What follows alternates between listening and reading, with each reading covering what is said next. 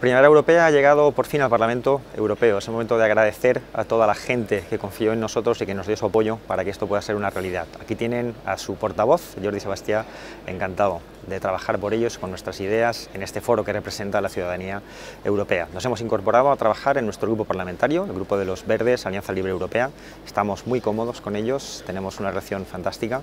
Estamos ya trabajando y hemos asistido a la primera eh, sesión, la sesión fundacional del Parlamento aquí en Estrasburgo Hemos tenido oportunidad de oír los discursos del presidente, el presidente ya eh, saliente de la Comisión Europea, Durao Barroso, de los presidentes de Grecia que abandonan la presidencia de la Unión Europea, de Italia que ahora entran.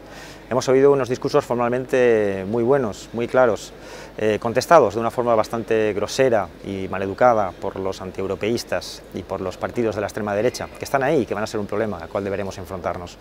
Pero bueno, han sido unos discursos, ya he dicho que formalmente muy, de mucha calidad, pero que no han ahondado en las problemáticas que nosotros tenemos en mente. No hemos oído propuestas concretas para resolver la pobreza que está atacando a muchísima gente en Europa, no hemos oído nada de qué pasa con esa deuda, en muchos casos ilegítima, que nos está lastrando y que va a impedir cualquier tipo de crecimiento, por mucho que hablen de eso. Hemos oído hablar de la preocupación del paro juvenil, pero no hemos oído propuestas. Hemos oído hablar de los problemas de la inmigración, cuando el problema es que están muriendo personas que quieren llegar a esta Europa que debería ser el baluarte de los derechos humanos. Hay mucho trabajo que hacer, lo tenemos muy claro.